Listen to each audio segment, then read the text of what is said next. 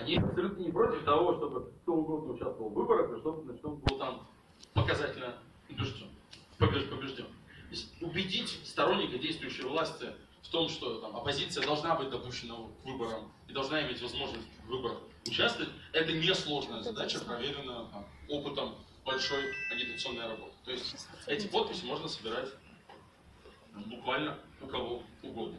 В этом нет никакой политической никакой другой проблемы. Что еще очень важно? Алексей об этом говорит на каждой встрече, и если кто смотрел стримы с других встреч, то вы наверняка, наверняка это видели много раз, но это такая важная штука, что я все равно повторю. Осенью, когда мы делали программу, готовили программу, мы проводили фокус-группы. Много в разных городах, ну, там, ну, в Краснодаре не были, но в Новосибирске, в Екатеринбурге, в Нижнем Новгороде, где только нет. Что такое фокус-группа, да, там, сажали за полупрозрачное стекло каких-то обычных людей с улицы, случайно подобранных, отнюдь не наших сторонников, давали им какие-то наши тезисы и идеи и задавали вопросы.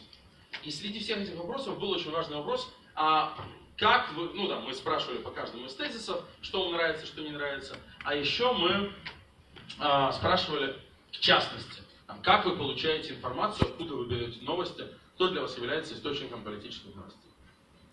И в этом месте Алексей делает такую картинную паузу, говорит, ну а как вы думаете?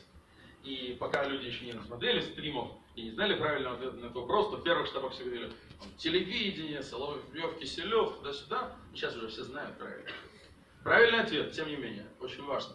Он заключается в том, что на каждой из этих фокус-групп, почти каждый из этих людей говорил, я что-то в политике не очень понимаю, но у меня есть друг, который шарит и мне все рассказывает. Друг, сестра, муж в таких вариантах. Информация, которую человек получил из уст в уста, гораздо более доверенная, чем информация, которую он посмотрел по телевизору. А, почти все понимают, что телевизор всегда врет. И там, чем дальше, тем эта уверенность растет. Информацию, которую человек получил из уст в уста от знакомого, от относительно близкого человека или совсем близкого, от родственника, близкого друга, тем более ценнее. Информация, которую человек получил от человека, который говорит искренне и верит в себя и уверен в себе, бесценна и побеждает просто все, что угодно. А, а говорите вы искренне или нет, это любой человек, ну вот при контакте в глаза в глаза понимает за 20 секунд.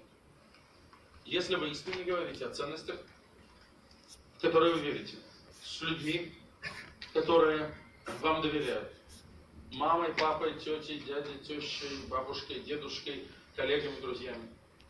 То вы станете для них таким вот другом, который шарит и все мне рассказывает. Вообще без проблем. И, собственно говоря, этого достаточно, чтобы победить. Потому что, опять же, наши тезисы, ну вот, вы знаете, у нас сейчас пока опубликована очень краткая программа, там, 6 базовых тезисов. Но они, а, простые, Б понятные, и они разделяются всеми. Ну, то есть там у каждого из них, опять же, мы это тестировали, уровень поддержки существенно выше 80%, и в большинстве случаев существенно выше 86%. Борьба с коррупцией, децентрализация, судебная реформа, экономическое развитие, инвестиция в инфраструктуру. Все это вещи, которые всеми воспринимаются на ура и про которые просто говорить.